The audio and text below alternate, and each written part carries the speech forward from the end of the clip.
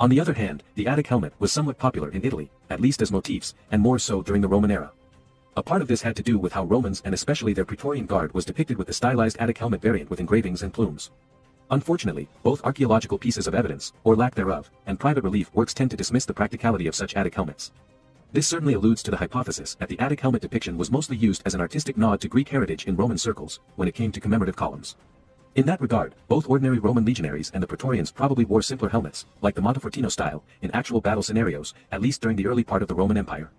This, in turn, relegates the possible use of Attic helmets in ceremonial parades.